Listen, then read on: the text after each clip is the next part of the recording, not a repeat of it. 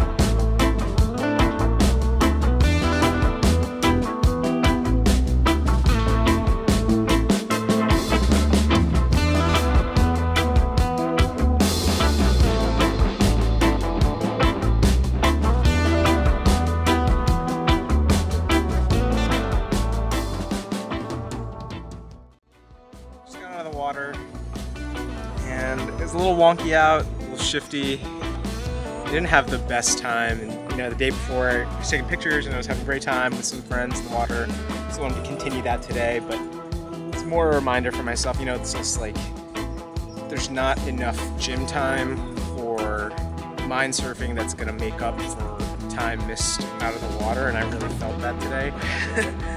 I know I'm gonna be feeling it in my arms later and took one on the head, so I'm definitely gonna be feeling it tomorrow and maybe through the rest of the week.